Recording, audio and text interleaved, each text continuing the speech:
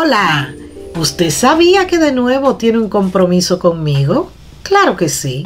Durmiendo con el enemigo. Hmm, ¿Qué hacer cuando te enteras de una infidelidad?